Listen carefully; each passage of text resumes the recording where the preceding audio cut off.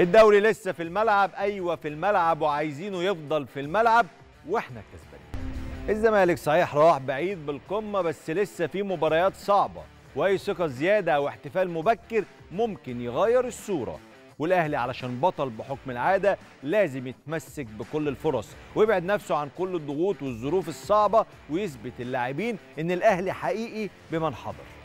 بيراميدز بتشكيلة كبيرة رائعة قادرة ممتازة يقدر يقدر يغير الصورة ويفضل في الصورة مع الخبرات والشباب وكل الإمكانيات إنه ينافس لآخر لحظة.